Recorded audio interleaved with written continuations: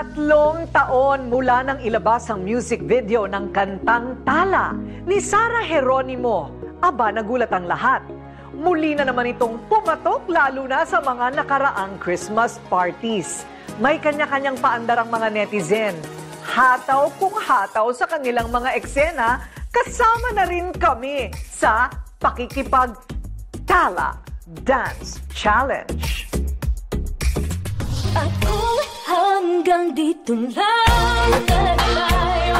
Hindi pababayaan ang daan. Di na magkakapiling ka umabot Umabot na tayo sa dulo ng 2019. Pero ang tala dance craze ni popstar royalty Sara Geronimo. Tuluyang pagkinang, still trending ngayong 2020. Almost 28 million views na. And counting pa ang viral dance na ito ni Sarah. At alam niyo po, in-envision ko siya na talaga magiging dance craze tong kantang to. Oh, so gusto ko itong itong vibe nitong song na to maging dance craze.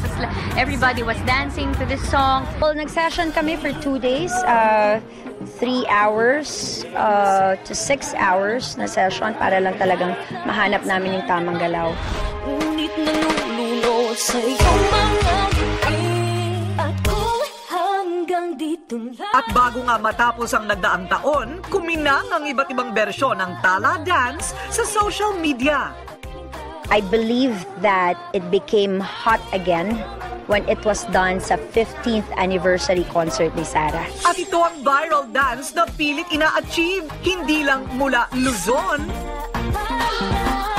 Visayas, at Mindanao, kundi sa iba't ibang sulok ng mundo. Power of ano siguro, claiming it, yun, nagkatotoo. So, ah, of course, maraming salamat sa LGBT community kasi sila talaga yung yumakap dito sa awitin na ito na tala. And now, it's, um, it's now a phenomenon. Hanggang sa ang paggaya ng tala dance steps ni Sarah, naging pa-challenge na sa social media.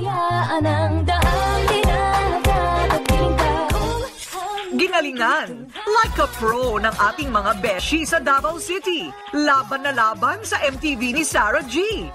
Lang nang mahigpit Aabutin na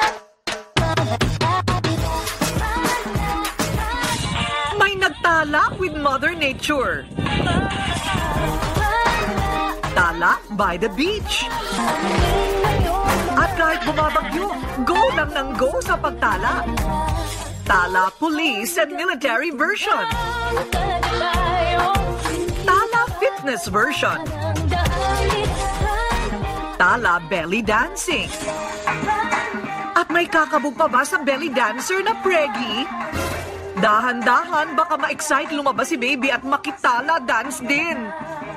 Pero mukhang may nasobrahan sa practice. Sa sobrang memorize nilang steps, nagtapos ang dance numbers sa puro intro lang. Mga celebrity nakitala dance challenge din. And of course, nakitala dance challenge mismo kay Coach Sarah, ang kanyang The Voice family.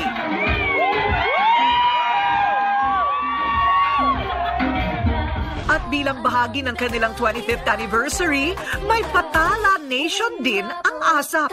Pero ano nga ba ang kwento sa likod ng kantang tala? Unang nakita ng 30 years old na si Nika Del Rosario, ang ningning ng tala dito sa recording studio na ito apat na taon nang nakakaraan. Yung tala kasi basically parang, I think kaya nakaka-relate yung mga tao. Kakaiba yung message niya. Ah, ikaw may feelings na pero yung other person, hindi mo alam kung ah, hanggang saan kayo. Mahilig daw sa stars si Nika, kaya naman ang ginawa niyang kantang kukumpleto sa album ni Sarah G, pinamagatang Tala, na halos dalawang oras lang daw niyang sinulat. So, umupo lang ako dito kasi may, may deadline na nga. So, after ko siyang sinulat, nirecord ko na agad yung demo. Is 2016 siya naging single. This year, hindi ko alam bakit in-embrace siya ng mga, ng lahat na. Parang nag-joke yung friend ko na parang, kasi three years daw inaral ng mga Pilipino yung choreography. So, ngayon alam na lang lahat. Pero wala man daw siyang hilig sa pagsayaw. Masaya siyang panoorin ang lahat ng Nakitala Dance Challenge kasama na ang buo niyang pamilya. At dahil challenge ito, starting 2020, hinahamon namin kayo. Sino kaya ang makakaabot sa mga tala? Ang mga bata kaya? O ang feeling bata? Mukhang may nanalo na. Five stars para sa street dancer ng QC Circle, Nanay Erlinda. But wait, may humahabol. Ang sabi ng hair? At anong say ng backup dancers with rice cooker ang baon pang picnic?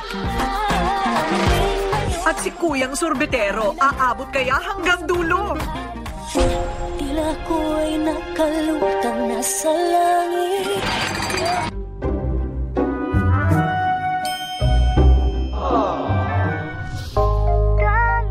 po kayo nakakarating hanggang dulo dahil meron pang challenger. Isipin nyo, ang isang matipunong pulis ay nakidance challenge sa tala ni Sarah G. O hindi ba, Arafat? Ang galing, ha? Paano nangyari na isang pulis ay magaling sumayaw? Since ah, po, ah, elementary and high school, sumasayaw na po ako. Ah, ganon. Opo. Oh. Ah, nahinto lang po siya nung nag-college ako. And bago ako mag-police, nag-viral po yung tala. Tinry ko po Maki- gawin. oh, maki. Opo, makiin. Tapos, ginawa ko nag-uniform po ako. Try ko lang pong sumayaw ulit, tapos makiin lang po. Ayun lang. In-upload naman ng misis ko. Oh. So yung mga kasamahan mo sa pulisya, nagugulat na yun sa'yo? Opo, nag- nagulat po sila. Hindi po nila akalain na marunong pala ako sumayaw.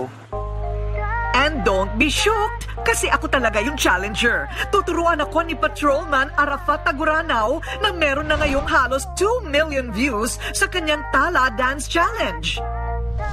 Tila ko'y nakalutang nasa langit Ngunit nalulunod sa iyong mga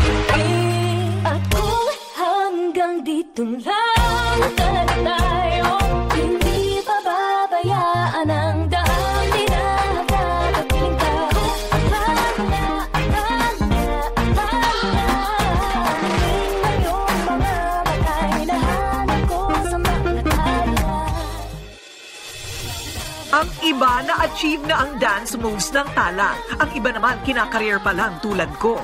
O susubukan pa lang, why not?